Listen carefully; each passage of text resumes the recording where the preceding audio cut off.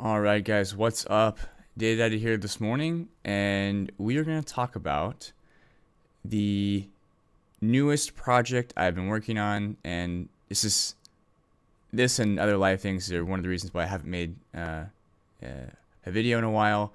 But I've been working on getting a new server set up, and this is an eight GPU. You heard me right, eight GPU server. It's the Supermicro um, 4028 GR-TRT, and this is going. This is my and hopefully will be your favorite new daily driver um, AI ML DL rig. So that's what we're gonna go over today. This is gonna be part one in a I can say a small series uh, of videos, but in this in this part or in this particular video, we're gonna go through uh, kind of the why. So why would you need this? Why did I build it this way? Why did I select the particular components? Um, all of these things that will go into uh, part two, which is where I'll actually show you how to build the this server or how you might build it. Everything from literally getting out of the box or having all the components kind of set on the ground, and then we'll go from there all the way through to um, completion, where you actually can use the server for um, you know modeling or whatever whatever your end application is. Um, and then finally, in another video, we will look at how to build um, an external rig uh, for this server. So basically, there are some of the GPUs don't actually fit. The the 3090s don't actually fit in the server, so I had to build an external rig. Uh, and there's been a lot of interest in general about how to build external rigs, so we'll have a, another video just on that. And I'll try to make it more general, not just for this server, but for any server you might want to kind of use this strategy with. Okay, so the first thing I think we need to talk about, guys, is why would you even want, um, you know, to use this particular server? So let me swap over here now that I'm done with the introduction, and we'll go over here. And the way that I want to do this is I'm going to start by touching generally why you would even want to go this route, and then once we do the kind of the general, we'll talk a little bit more specifically about why you would want to go with this machine. Um, and then we'll address each of the components and where I got them. And then we'll do a final cost breakdown um, of all of this before we move on to part two. So firstly, let's address why you would even want to go this route. Why would you want to buy your own hardware? Why would you want to, um, you know, fool around with any of this stuff? And the reason is, well, I guess, what are your options, right? So we'll start there. So you have buying your own hardware, which is what I'm going to pitch in this video, is why you know it would be a good idea.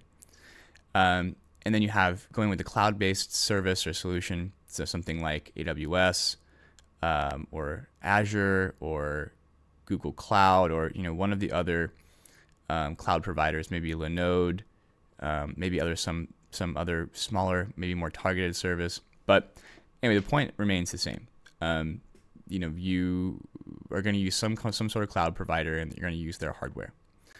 Um, and then the other one is almost like even even more um, focused approach, where you're only you don't, you don't even have any you don't have full control of the hardware. You just have you know one functionality, which is I would say things like Google Colab, Kaggle, where you can basically have a notebook and you can run things there which has access to underlying GPU and hardware elements. So that's one option. Those are your options basically, and um, the the last one I just, just touched on, so like Colab and Kaggle, those are really those are great for experimenting, but they're really not suitable for for for managing large projects or, or using long term. Um, they time out after a long time. Uh, access to the underlying hardware is unreliable. You're not going to get the same one every time. And re- as of late, they've started becoming you know way more expensive. Like Google Colab now, you have to buy compute units, and you know if you actually price it out, you'll find that it quickly becomes uh, expensive to use long term. Now, um, next thing is cloud computing, and that's popular for a lot of businesses and a lot of um, companies are going that route. And you know, nothing wrong with that. If you don't, if you have the money and you don't want to fool around with the hardware, that's probably a better way to go because it allows you to focus more on, you know, creating the, you know, the software side of things rather than having to worry about, you know, the hardware you need to get there. But what I will say is this is quite a bit expensive. Um, you know, when I, I have done this comparison in, in previous videos, so I don't want to be a, a dead horse, but um, what I will say is that can be anywhere from um, many hundreds to many thousands of dollars per month, depending on per month, mind you, not you know per year, but per month, uh, to access the same kind of hardware that we would have here. And you know, this would probably be, you know, maybe even tens of thousands to rent a month for as much for, for what we're about to build. So you got to keep that in mind as well. This you could use for years. That you could pay you pay monthly. So really, to me, cloud computing in that sense only makes sense if you have some sort of business objective. If you're going to eventually make money with it, um, and that you can kind of use that income to offset the costs. So that's my two cents there. Now, finally, why would you want to go this route? Well, this is, in my opinion, the most compute that you can get for your money. Um, and it's not only that, you have full control over your hardware. So you can set this up any way that you want. You can break it down, um, you know, remove components, add components, make it as targeted for whatever your end use case is as you want. So that's why, you know, not only can you buy used components and make things cheap, so you get the most compute that you can for your dollar, you also have full control. So that's why I advocate for this, especially if you're a small business or you are a, a PhD student like myself and you have the you know the desire and the and the, the money to kind of go this route, um, you know, or you are an enthusiast. I think this is this is a great use case. But this is really targeted to people that that use this particular video and this series in general will be targeted more to people that are using this every day or will eventually be using this every day. This is that's why it's you know the daily driver, right? So I'm trying to get the, the machine that is the most efficient and most cost effective for people that want or interact with um, you know AI, ML, DL uh, every single day and are training models multiple times a day. So how does that? How do we make that the, the most efficient it can be? Um, you know, for those type of people. And this will this on on the spectrum of you know machine learning. This probably falls uh, about I would say in the middle you know, this is this is a pretty pretty beefy rig, so maybe mid to like touching into advanced, depending on what kind of GPUs that you put in there. Um, but you know, there are much higher levels that you could probably much higher levels of compute you could probably get to, and it just really depends at, at this point on what GPUs that you put in here and how much money you're willing to throw at this. So that's why I'm, I'm saying this is probably a mid to, um, you know, maybe getting into the advanced or more advanced setups. Um, but I do think this is a great daily driver, and I think this is a good cost-effective solution for you know the majority of people. And the great thing about this is you can modify and change this in any way that you want, depending on what your particular use case is. So I know it was a, it was a kind of a long intro, um, and but hopefully that should cover the specifics of you know why you might want to choose this solution, um, and then also uh, why you would want to maybe go in in in uh, in this particular direction. So now we've touched on the the general and then also kind of the use cases and who this is targeted for. Let's talk about this particular server because there are other options. Um, there are, you know, actually quite quite a bit of servers HP makes a great one. Um, there is one I was actually looking at the other day, uh, which is a, a, gigabyte server, which you can fit I think six GPUs in it. So there are um, these are I believe these are these are coined high density uh, GPU servers. So the Supermicro falls in that category, and all of these are basically targeted, you know, for uh, the machine learning AI DL revolution that's happening at the moment. And um, I like this one particularly, one, because I think it's the most cost effective. I also like the way that the, the, the GPUs fit in. Um, so I've looked at quite a few. A lot of the other ones fit in weird ways and looks like they would have issues with cooling. But this one kind of gets around a lot of those issues with the neat design. So anyway, let me let's reintroduce because it's been a really long intro. So this is Supermicro 4028 GR GPU ready dash TRT. It's a four unit server. This particular one we're looking at is bare bones, meaning there's nothing, there's no CPUs or RAM or anything that comes with it. So, and that's good, at least in my case, because I wanted to build all that out custom. But you can get other flavors that have a lot of this already integrated. There's actually, I was looking at one and it's called the serverstore.com, and I'll, I'll link that in the description in case you want to go that route. But that you, that allows you to pre-configure and kind of buy the server with whatever you want already installed. So if you don't want to fool around with actually putting the hardware in or um, you know finding it, you can always go that route. Um, okay, so next, uh, you know, as you can see, it's this is almost exactly the way that it came. So four unit server, um, you know, pretty pretty basic looking from the outside.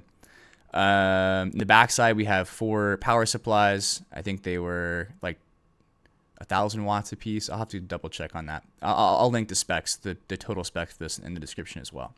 But the most interesting thing is it, it says with uh, this X10 DRG-OT plus minus CPU, GPU board, blah, blah, blah, blah, blah, blah. So that's actually talking about this back piece here. That's a, there are other variants of the server that don't have this, this GPU board basically, which is in addition to the underlying motherboard um, that basically allows for all of these GPUs to be installed. So what you're looking at here is the ability to fit in four um, G, four two slot GPUs on this side, and then four two slot GPUs on this side. So for a total of uh, eight GPUs in the back, uh, put in vertically with full 16 lanes uh, access, which is absolutely incredible. I've, I've never seen another GPU or another server, uh, or not many that have eight. I've seen a lot that have six. Um, so eight is incredible, and especially to have them at full 16 PCIe lanes is super nice. So one, two, three, four, those all are 16 lane slots, and one, two, three, four, those all are 16 lane slots. This guy right here, he's going to be an eight lane, uh, and I think this guy is as well. So these two here, those are both eight lane, and then this guy right here is only a four. Um, I know they're all 16, but they only have you know a certain number of lanes actually allocated by the um, motherboard itself. So I just wanted to touch on that while I had this statically available for us to look at. Um, and then under the shroud here, or whatever you call this, this, this divider, um, there's actually 12 volt EPS power that's coming uh, for each, basically four here and four here for each of these GPUs. So it's it's it's made and designed to have GPUs installed. Now it's geared for the, the Tesla series GPU. So think about the uh, P100, P40, V100. So basically anything with the the Pascal, the Volta. Uh, I think even the Kepler series should work in this. Um, and then I'm sure up to the Ampere would, would also work. I haven't haven't verified that, but I don't see any reason why it wouldn't work.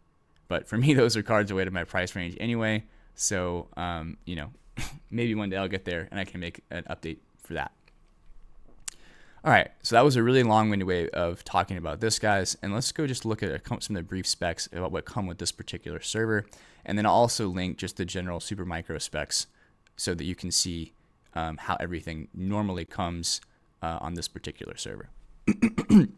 so as you can see, um, there are no CPUs, so we got to get those. There's no memory. There's 24 DIMM slots though, which is nice.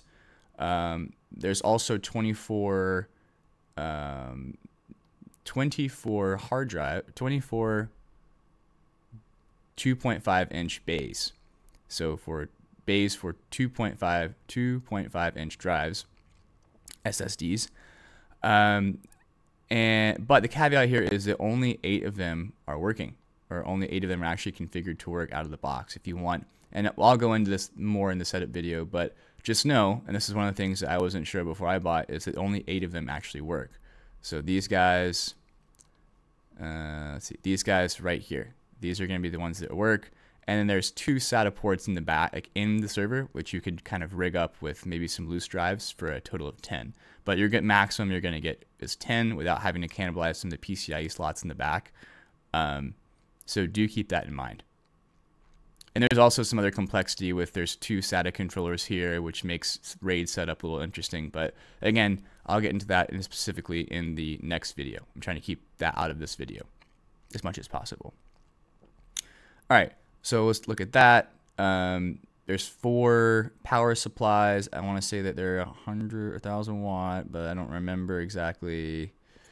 Um, it's not hugely important. It, it, this one did not come with power cables, so you have to get those separately. Um, I'm trying to think of what else was important here, guys. Um, it's pretty much all I really remember. Um, but yeah, so if you go this route, just keep that keep those things in mind. And then the other thing, the last thing, is that it says 700 bucks, which is a ridiculously good price for this amount of um, compute or this this structure that will allow us to, you know, have this much compute. But it is super heavy, and it ships this one at least from California, uh, and you do have to pay a $350 fee, uh, shipping fee for uh, freight delivery.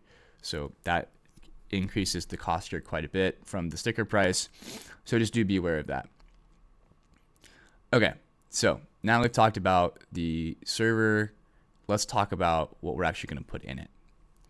So next, I chose the. Um, so since this is bare bones, and if you you know you go into different different route, this may not apply to you. It will come with these things already already installed. But I wanted the most cores and the highest uh, clock speed, or I guess base clock speed that I could get. And I was willing to pay the extra money for it. So the the thing that fit the bill here was the Intel Xeon E5 2699 version 4, 2.2 gigahertz, 22 core processor, and that's two of those uh, for each of the CPU um, CPU slots on on the motherboard. now, one thing I want to mention here is that you can go with either the, the, the V3 or V4 for this particular motherboard. Both of those uh, I, I know to work. Um, you know, I can only verify that the V4 works, but according to the research I did, both of those should work. I don't know if any other C, uh, CPUs will work uh, on this board. So if you want to go a different route, you're going to have to do your own uh, research to figure out if they're compatible. Okay. Um, so yeah, really, there's not a whole lot else to say here. Um, you know, I think for the for for 164 dollars and to get this many cores is is great. I thought it was a good deal. Um, so you know, but this is one place you could save money if you don't need this many cores. You don't do a lot of um, you know parallel programming or you know programming that requires you know a high high core count to speed things up. Then it may not really be relevant for you. Um, so again, this is what I chose uh, feel free to you know deviate here to save money or you know for a different use case. All right, next. So we've got our CPU taken care of now. Let's look at the uh, RAM. So I did quite a bit of research and tried to find, trying to price out the best way to go as far as the RAM is concerned.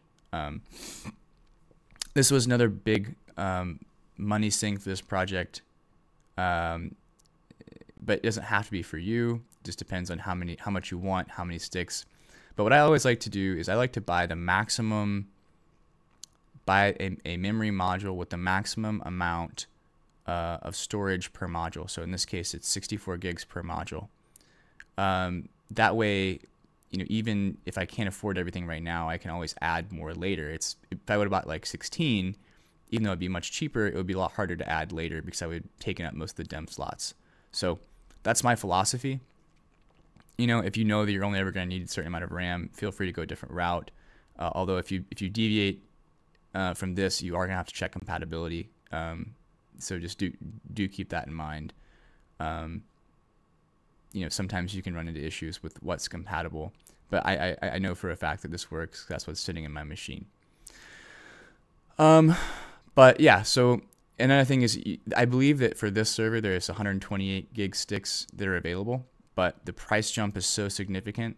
Um, it's not like a linear scaling. It's like it's almost exponential. So um, it's like many hundreds, hundreds of dollars per one stick, and I just wasn't willing to spend that much more money.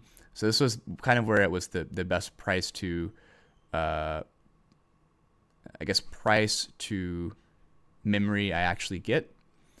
And so, and also it still allows for scaling. So that's why I, I, I chose these. And this is going to be ECC LR DIMM. So once you get beyond a certain point, you're going to have to go into this LR DIMM. Uh, so um, basically, it's just lower voltage uh, RAM, and um, that's that's really all all that there is to say about it here. So um, I like this route because you can you know buy as much as you need. You can always add more um, as you get the funds or as you need more. So uh, I I like that for that reason. All right, so now we've got um, now we have got the server, we've got the CPU for it, we've got the RAM for it, and we now need to talk about you know, let's talk about this first. Let's talk about the drives. I forgot them. So I made another another version of this video first, and I for, totally forgot to talk about a couple of things. So I decided I was just going to remake the whole video. So if you've already seen this, I do apologize. This is a remade version with a couple other things I forgot to talk about the first time.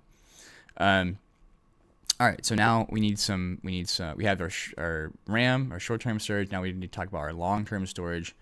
Um, so for this, I attacked it in two different sections or two different ways. For me, I always like to set up my server um, with basically a boot drive or a drive where, or I guess a RAID configuration that's going to have um, all of the OS and all the um, stuff that pertains to boot, and then files I want to persist, you know, indefinitely on my server. And for that, uh, I normally set up as RAID one. So basically, I'm, i bought a um, two Team Group, two terabyte uh, two and a half inch SATA, SATA 3 SSDs. And I've used these, if you watch my videos, I've used these a lot in the past. They're very reliable. I like them. They have, you know, good price to performance. Um, you know, obviously other people think so as well. So anyway, very solid option. Nothing really a whole lot else to say here. Um, now, so that's that's what we're gonna do for the long-term store or the the one part of the uh, long-term storage. And then the second part is I like to have a whole separate array for just the data that I use. It's just this is going to be like a um, high volume, um, shorter term, still still long term, but you know not stuff that I'm that is associated with the OS. I guess I could say. Um, but this is going to be set up in RAID five, so I went with the uh, Samsung 870 QVO SATA 3 uh, SSDs the eight terabytes. So I know that this is this sucks.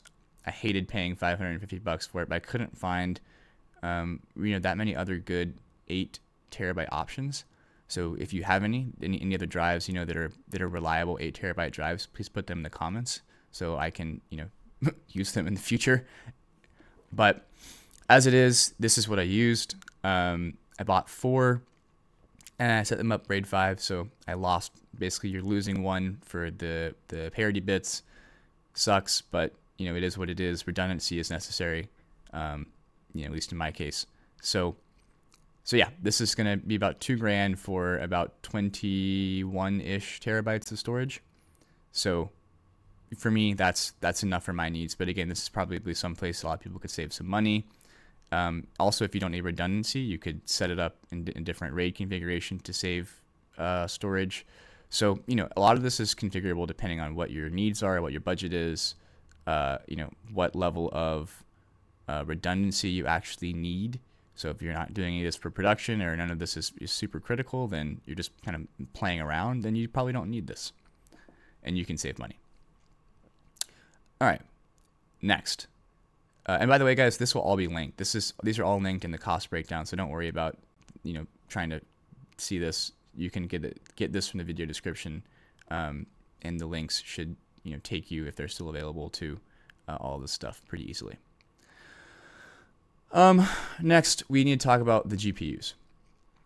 So, if you watch this channel for any length of time, you know that my my preferred GPUs, um, at least the ones I think are most cost effective at this point, uh, are the P40 and P100, and those we'll talk about here in a second. But those are ones that I already had, so I didn't actually buy these particularly for this. I just repurposed them for this this build.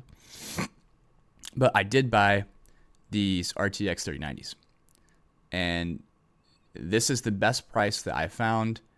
Um, so this is the Zotac GeForce, I guess, flavor.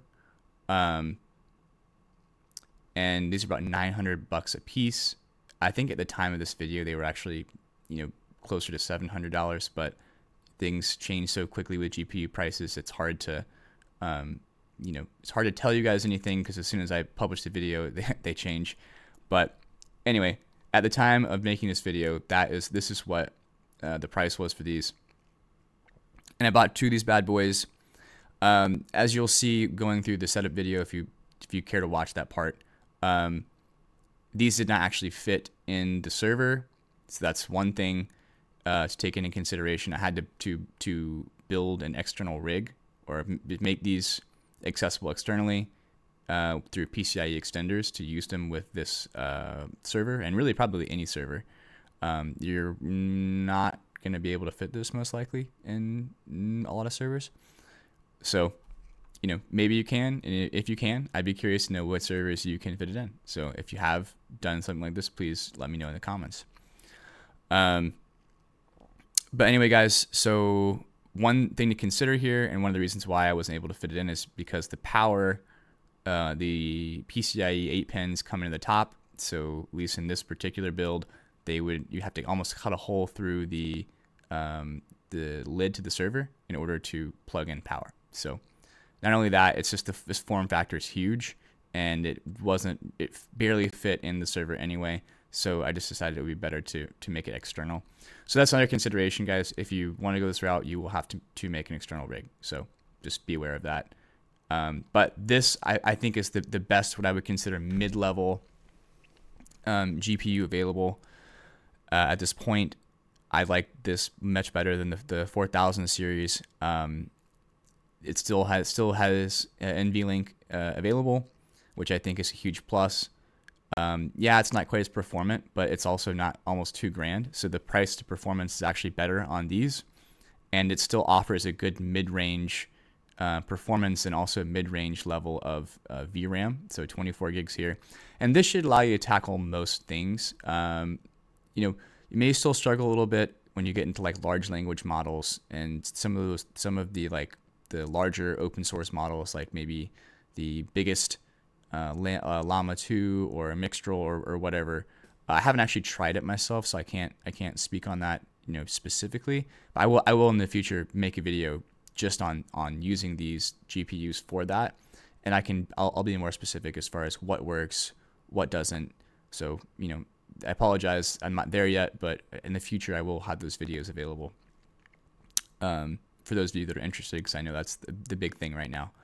Um, but uh, but yeah, so this guys was what I recommend. You can always go a different route, uh, and you can find something probably be better that fits in your server or in the server. Um, if you go with the Tesla series, they should fit in the server just by default. So that may be a, another better route to go if you don't want to have to fool with making a uh, external rig. So you could always go that route or just you know stay with the P40 and P100. So that's totally up to you as well. But if you are going to go this route, you will have to buy PCIe extenders. So I chose these. I found these on eBay. These are 60 centimeters a piece. I had to buy two of them per GPU um, because I wanted to put this on a rack next to the server rack. So like a little metal rack next to the server rack. So I needed about four feet. So about 120 centimeters roughly equates to four feet. And this was more than enough for, for what I needed it for. Now, one note here, guys, is that this seller sucks.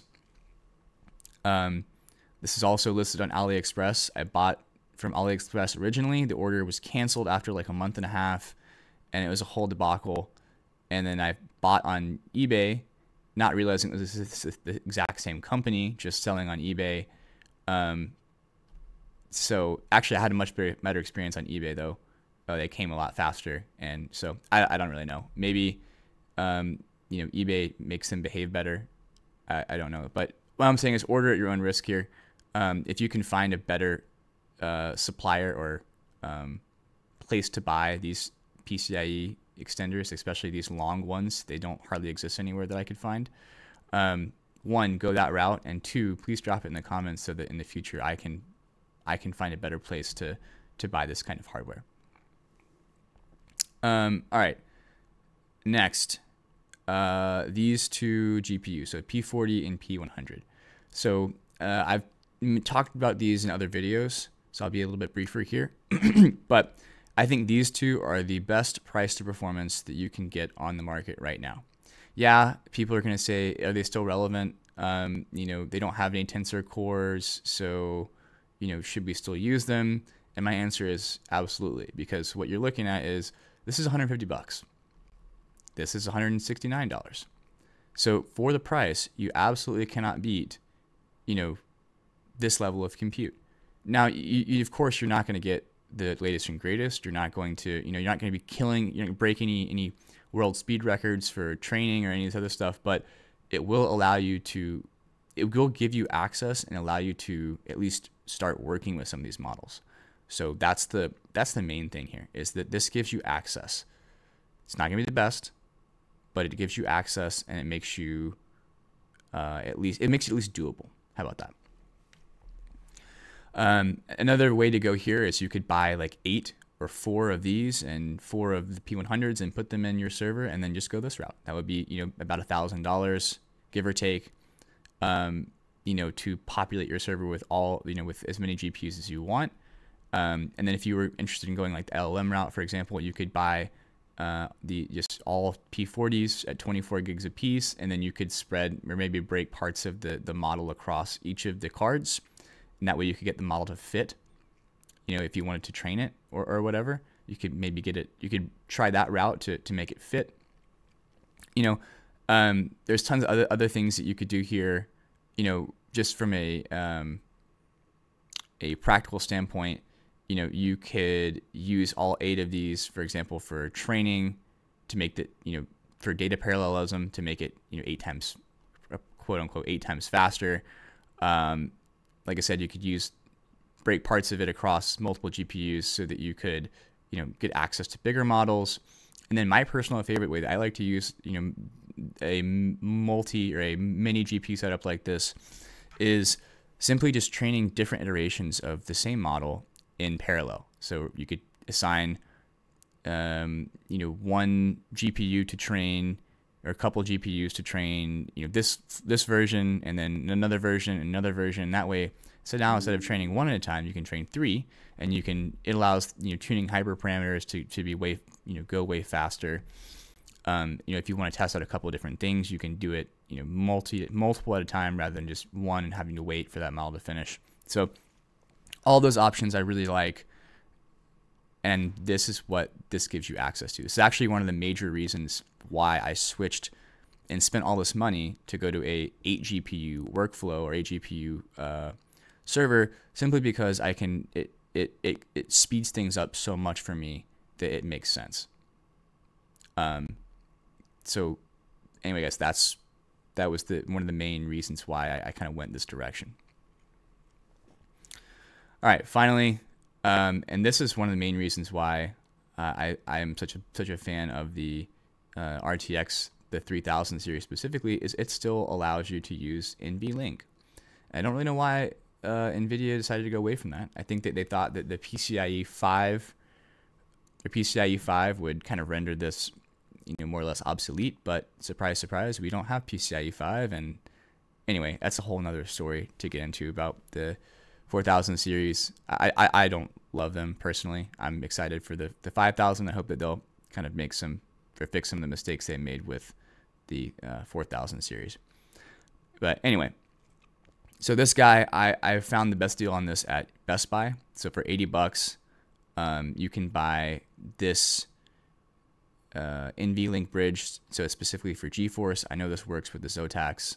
Um, now, one thing to note if you're buying different GPUs, if you find like a better deal on the 3090s from a different form factor or a different manufacturer, you may need to buy a different NVLink bridge for that particular manufacturer.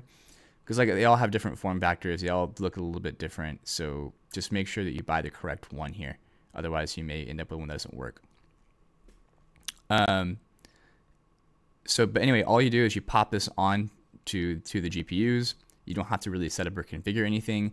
and it just is a high speed data transfer channel uh, or bidirectional data transfer um, bridge, I guess you could say, between the GPUs. It doesn't make them one GPU, but it does make the data transfer between them significantly faster. So you're not doing it over PCI 3 now.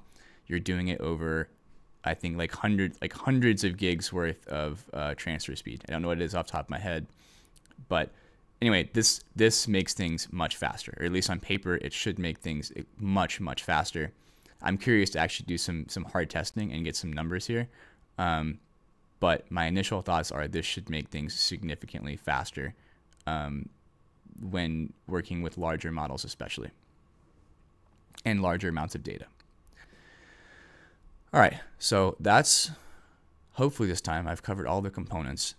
I made made revisions to last video, and then I had to remake the video entirely because I, I left out the um, the uh, drives from this video, so it wasn't it wasn't totally accurate. So anyway, I'm hoping that I made I put everything in this video. So let's hope this one this one gets it. Um, all right. Now, last thing is I wanted to just put everything on on paper to put all this in perspective. Um, so this is just all the items kind of listed as they were on their particular um, provider or their particular platform, I guess you could say. Um, and then have the price, and then the quantity and total, and I total everything up, and then just some, some notes, um, you know, things that are important for each of these, and then I have the links. So if you're you're curious, this will be in the video description. So just come open this guy up, and then you'll have access to all the links, and you can, um, you know, buy them or look at them or whatever the case is for you. Let's briefly go over this. So Supermicro, right? This was 700 plus the $350 uh, shipping fee, and this was just for the bare bones one. If you wanted to go a different route, you could always you know buy it. It might be more expensive or less expensive depending on what you add on, but then you wouldn't have to go through the added headache of actually putting the hardware in. Now, I like that kind of stuff, but you know that's not for you. Totally understand. We're at a grand here, uh, and then the, the processors. So that was six hundred and forty nine dollars a piece, but we you know twenty two cores for you know pretty high gigahertz. Uh, pretty high clock speed, base clock speed for these.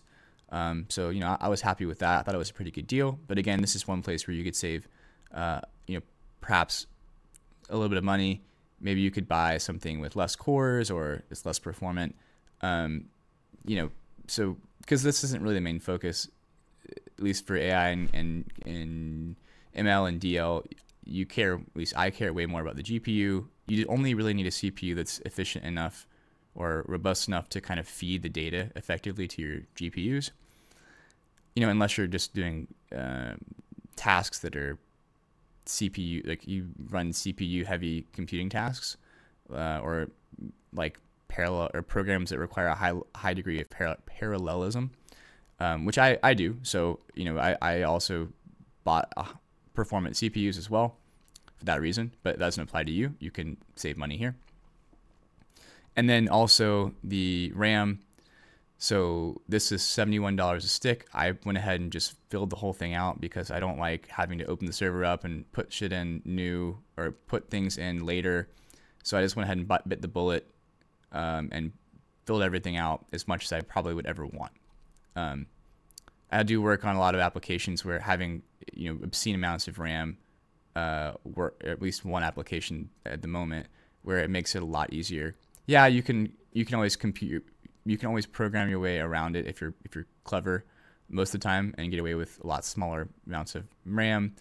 But sometimes it's nice not have to use your brain and you can just throw things on the um, you know, throw things into massive amounts of RAM, not have to worry about you know the, the those kind of constraints. So that's why I did it. It makes my life easier. But again, you could probably get by with a whole lot less for most people and most applications. I would say though, at a, at a, for this level of, of computing, if you're going to go this route, I would at a minimum do 256 gigabyte, 256 gigabytes of RAM here. Um, so that would drop the cost significantly here. And then I'll, I'll make some adjustments and I'll show you guys what it would be like if you were doing other things as well. You know what the price difference would be. All right, so again, this another place where you could save a lot of money.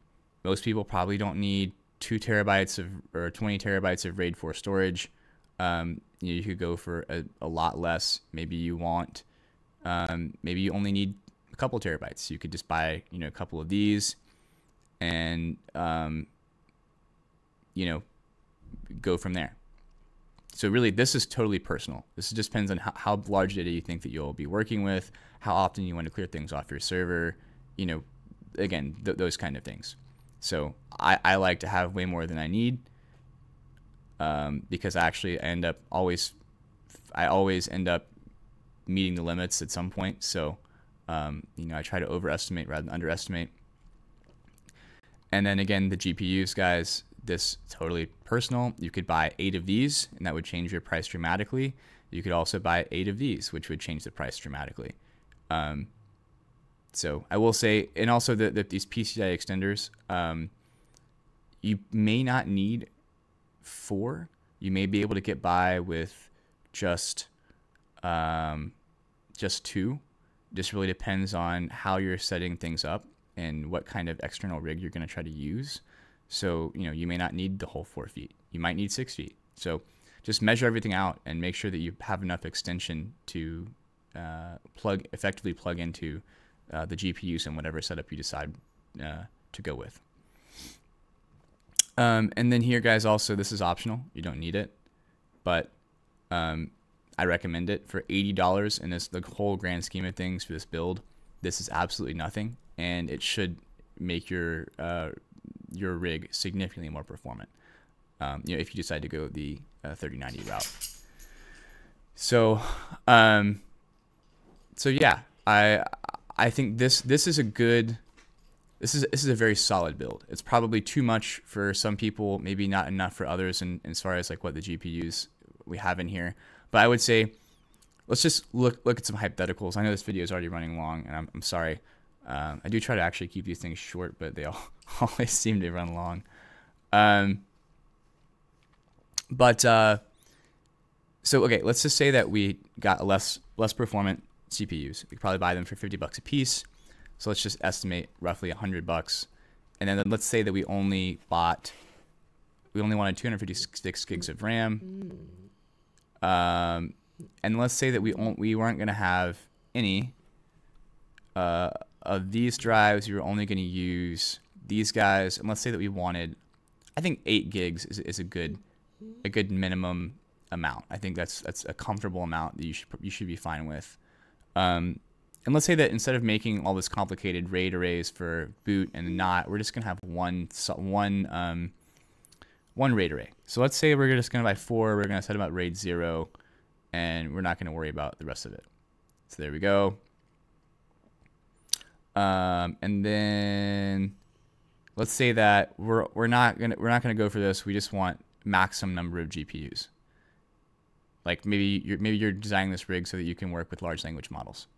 Um, so what I would do probably is I would not buy any of these, and if you're just looking to get into that, I would buy probably eight uh, P40s to give you the maximum amount of VRAM, and then we'll take that to zero, and then we don't need this. So now, look at that. We've taken that $8,000 build, and now we've pared it down to just the essentials really for what we need, and then we're now at three uh, $3,300 and able to dabble pretty effectively in large language models and all, all kinds of different things. So the point I'm trying to get at here, guys, is this totally customizable. I know that this the sticker shock down here when you saw eight grand was probably like, holy crap, I can't believe he paid that much.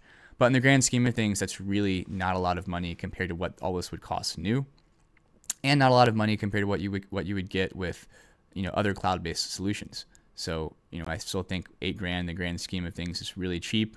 Um, it's really again, I'm always about price to performance. I think that's one of the best you can get for this kind of mid to advanced level of um, of computing uh, or computing with respect to AI, machine learning, and, and deep learning. Um, so so, and then also you could scale it up. You go the other way. You could put everything back the way that it was, and you could also say, all right, no, I don't want any of these. These are these are too too weak for what for my taste, and you could you know take these to zero, and then you could um, get eight of these bad boys, and then you could let's see, there's eight now, so that's two per GPU. So let's say two times eight. Oh, sorry. I need to actually put equal sign in there. Okay. And then you could take this all the way up to 13,000, or you could replace this with in, uh, Ampere GPUs like A100, and then the sky's the limit. You could have, you could spend, you know, uh, $30,000 in this rig if, if you, if you wanted. Um, you know, you would need to make this for, so anyway, so you can see very quickly that this, this can kind of spin out of control depending on what, what hardware that you want to put in it. You could also add more storage. So anyway, point is, I just wanted to give you guys some some numbers as far as how you could build this and what you're actually really realistically looking at. Um, so anyway, guys, that's that's a summary. This has been a very long video already, but I'll leave you with this. I have done an extensive amount of research as far as how you can get the access, get access to the most amount of compute, the cheapest, and what's basically what's the most efficient way to work every day with, um, you know, these kind of models. And this was the setup that I came that I came to. Um, so you know, I I think for me, and probably for a lot of people, uh, some flavor close to what I I pitched you originally, um, or you know, the original would be the best way to go. So. So anyway, guys, be interested to see you know what the comments are on this, if people agree or, or don't agree. Um, you know, I know this is a lot of, of upfront cost, but you know, you don't have to do this all at once. You could do this incrementally. Um, you know, buy things and then reconfigure them as necessary. So, anyway, guys, I hope you enjoyed this video. Um, you know, I, I know this was a lot, and um, but I really hope you got something out of it.